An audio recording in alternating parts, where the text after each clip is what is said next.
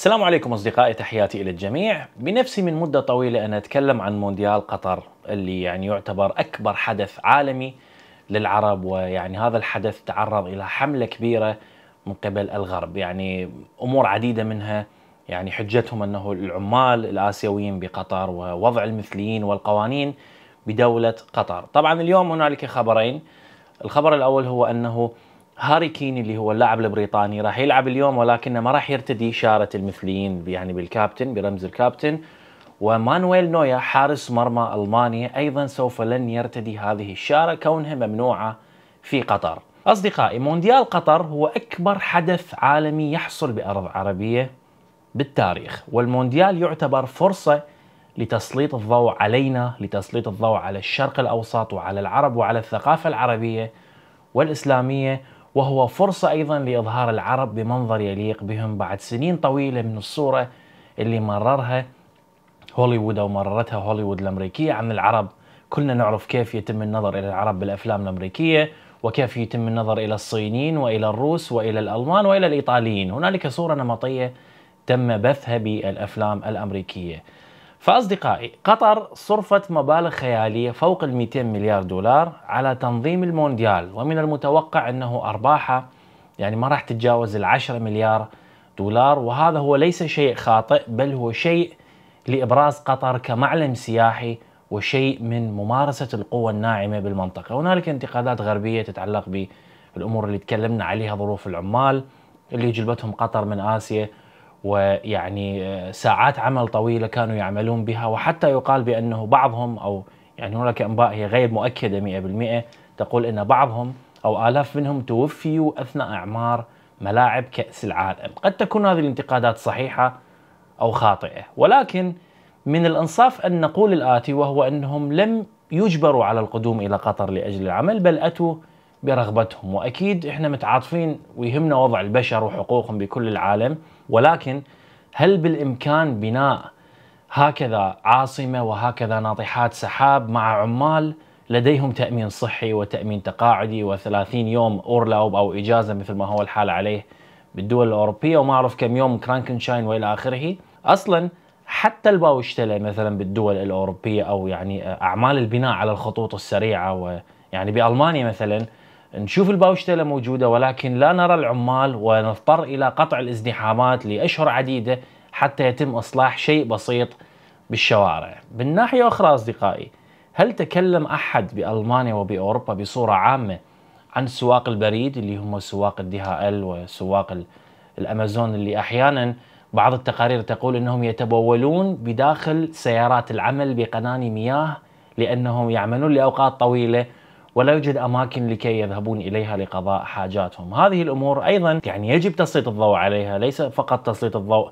على شيء يحصل بالدول العربية، يجب يا أما أن نكون حياديين وننتقد كل ظاهرة سيئة، يا أما أن نقرر يعني نقف مع آه، مشاكل تحصل ببلدنا أيضا ليس فقط تحصل ببلد عربي، هذا هو رأيي بكل بساطة من هذا الموضوع، لم نسمع أحد دعا إلى مقاطعة دي ال أو إلى يعني مقاطعة الشراء من أمازون بسبب ظروف العمال وتحديدا السواق. وأسأل أي شخص تعرفوه يعمل بهذه المهنة وسيروي لكم المتاعب الكبيرة التي يعانون منها. بالنهاية أصدقائي كل شيء كبير يتم إنجازه يتطلب تضحيات. وخير دليل قناة السويس اللي فكر بها نابليون استغرق شقها عشر سنوات انتهت ب 1869 أكثر من مليون مصري شارك بحفرها وحوالي 120 ألف مصري توفي بسبب الجوع والعطش أثناء الحفر. القناة طولها 198 كيلومتر وبدون هذه القناة لا يمكنك أن تتخيل البشرية بشكلها الحالي أو أوروبا والغرب بشكلهم الحالي. بالنهاية مونديال قطر هو حدث عالمي حدث عربي كبير ولازم تستغل الدول العربية لتقوية وجودها عالميا وسياحيا. ولازم الدول العربية ترجع لها هيبتها ووزنها ويكون موقفهم أقوى لأن المستقبل لهم خصوصا بعد الصراع الآن بين الشرق والغرب. النفط والغاز بيد الدول العربية، لازم ينتهي الوقت اللي تتدخل به دول إقليمية بشؤون الدول العربية عن طريق سرقة شعوبنا باسماء الولاءات الدينية، لازم يتحد العرب ويقيمون علاقتهم على أساس المصالح وليس يعني على أساس التبعية مثل ما يحصل ببعض الدول العربية للأسف الشديد، لدينا كل مقومات القوة والمستقبل، هذا كان رأيي بكل بساطة عن مونديال قطر وكيفية استغلاله بالشكل الصحيح ويعني سلبياته وإيجابياته. أصدقائي موضوعنا الآخر هو بألمانيا هنالك خبر صادم جدا وهو تقرير نشرته الرابطة الفدراليه للصناعات. التقرير أفاد بأن ألمانيا الآن بنهاية 2022 شهدت أكبر انخفاض باستهلاك الكهرباء بتاريخها ولم تشهد هكذا انخفاض غير فقط ببداية عام 2020 ببداية الكورونا لما كان العمال جالسين بمنازلهم الشركات كانت شبه متوقفة ولا يوجد إنتاج بالمصانع الألمانية بسبب الخوف من العدوى ومن الوباء الذي كان جديد ومجهول، الآن أصبح الوباء معلوم، أضراره ليست مثل ما كنا نتوقعها ببداية 2020 الآن حصل انخفاض باستهلاك الكهرباء لأن حسب الرابطة الفدراليه للصناعة هو انخفاض التصنيع وانخفاض الإنتاج بسبب تكاليف الكهرباء المرتفعة، على الرغم من أنه نسبة الانخفاض باستهلاك الكهرباء هي 8% فهذا الرقم يشترك به السكان بحد معين والصناعات بشكل كبير جدا جدا. استهلاك الغاز أيضا انخفض بألمانيا بنسبة 14% عن العام الماضي 2021 وهذا الأمر له سببين.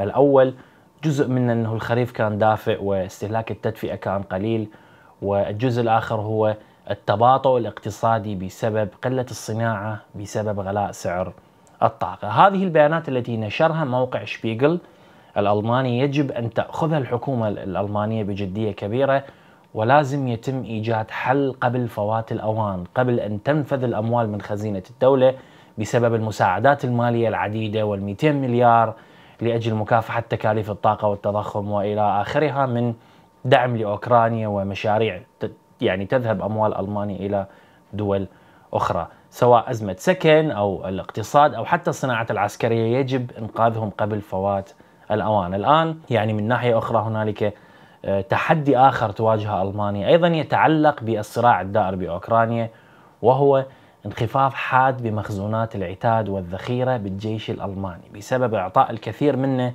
للأوكران، يعني هذه أمور عديدة تحتاج إلى أن تتحرك ألمانيا بشكل عاجل وإلا يعني يعني قد يفوت الأوان. هذا الأمر اللي هو انخفاض العتاد والذخيرة لا يقول أعداء ألمانيا ولا المعسكر الشرقي بل الجيش الألماني نفسه.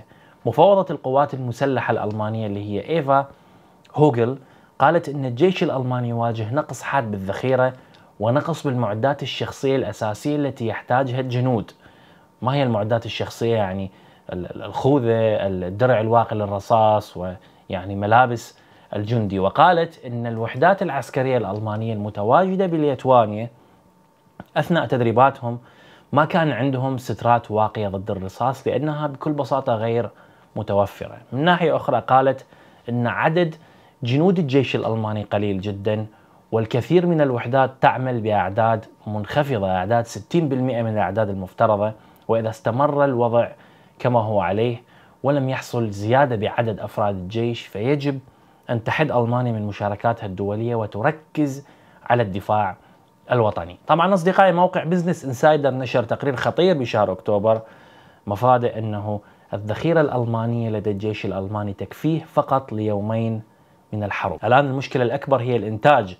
يحتاج جيش ألماني إلى 20 مليار يورو عاجلة يعني هي مبلغ مالي لأجل شراء ذخيرة أو لأجل إنتاج ذخيرة لإعادة ملء المخزون. ولكن الصناعة المحلية متعثرة بسبب أزمة الغاز والطاقة. هذا الكلام أصدقائي خطير جدا.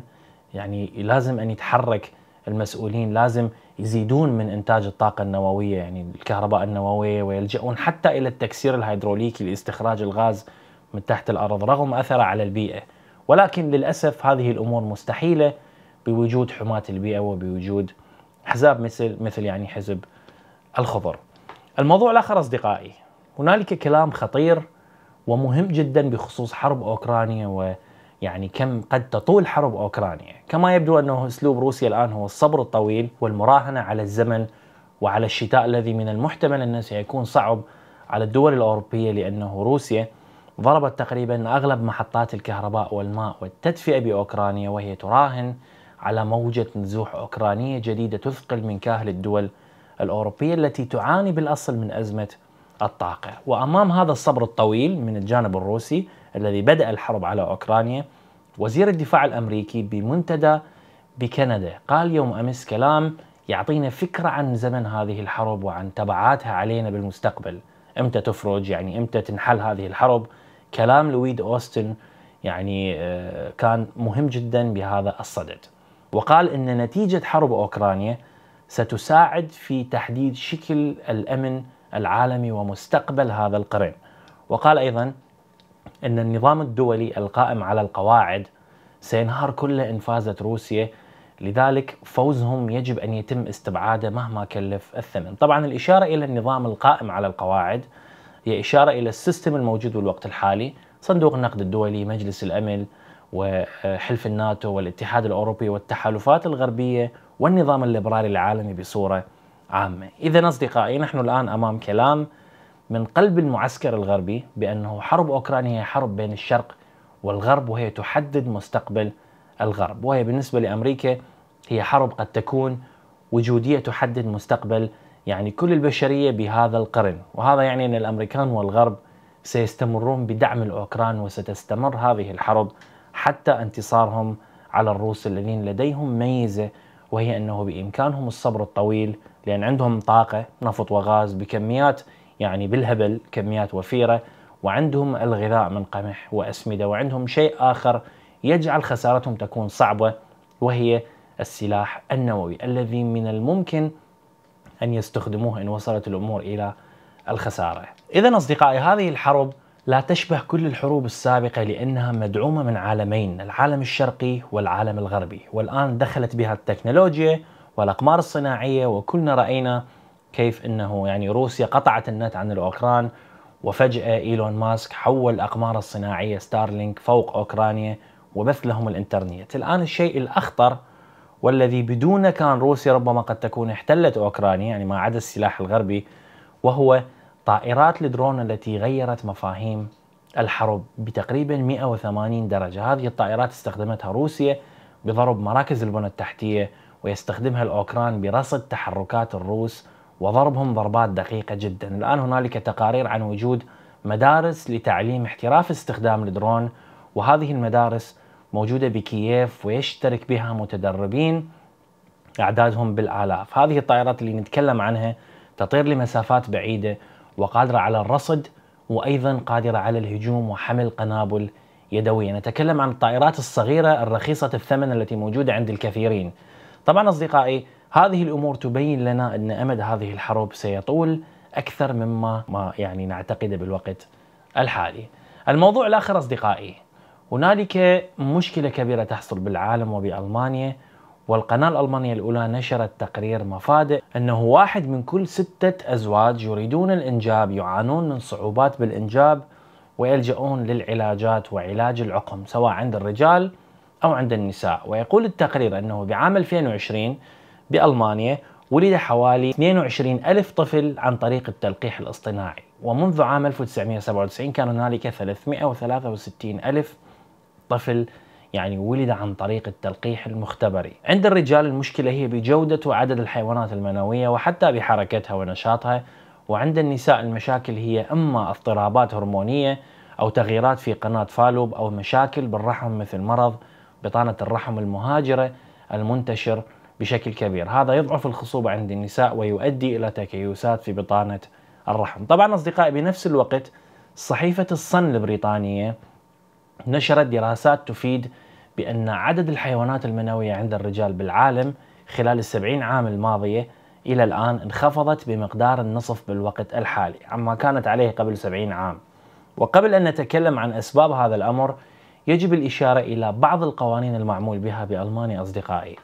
مثلا القانون بألمانيا يمنع أو يمنع تأجير الرحم لأجل الحمل يعني مثلا زوجين الرجل صحته سليمة والمرأة عندها عقم ببعض دول العالم مسموح أن يتم الحمل عند امرأة أخرى. تأخذ أجر مالي لأجل أن تحمل طفل وتعطيه إلى الزوجين التي يعني المرأة تكون عندها مشكلة بالإنجاب. بألمانيا هذا الأمر ممنوع والقانون يحاسب عليه ولكن مسموح شراء النطفة. أو مثلا زوجين عند الزوج عقم مسموح أن يؤخذ سائل منوي ويتم حقنه يعني داخل الرحم بالمختبر أم بسوق الأحد. طبعا أصدقائي لا يخفى عن الجميع أن أسباب ضعف الخصوبة والأمراض المتعلقة بهذه الأمور هي نمط حياة البشر نمط الحياة يعني بالعصر الحديث والجلوس الكثير بالمنزل، قلة الحركة مثل يعني الإنسان بالماضي كان يتحرك كثير يزرع يتنقل لمسافات طويلة على قدميه. الآن هذه الأمور يعني لا تحصل بالوقت الحالي وعدد البشر كبير الآن 8 مليارات نسمة وأطعامهم يستوجب استخدام المبيدات الحشرية والمبيدات الكيميائية والأسمدة الكيميائية التي بدونها 70% من الزرع يتعرض للتلف. كل هذه الأمور تؤثر علينا كبشر بالعصر الحديث ولذلك تجد أن كيلو الطماطم بألمانيا مثلا العادية بثلاثة يورو والبيو أي التي غير مستخدم بها مواد صناعية يكون سعرها 10 يورو. الأمر ينطبق على كل الخضار وحتى اللحوم، فنحن كبشر يجب أن نسأل نفسنا هل نأكل صحيح؟ هل نتحرك بشكل صحيح؟ عندها سنعرف أسباب مشاكلنا الصحية. بهذا الموضوع وصلنا للنهاية إن شاء الله تكونوا استفاديتوا تحياتي لكم مع السلامة.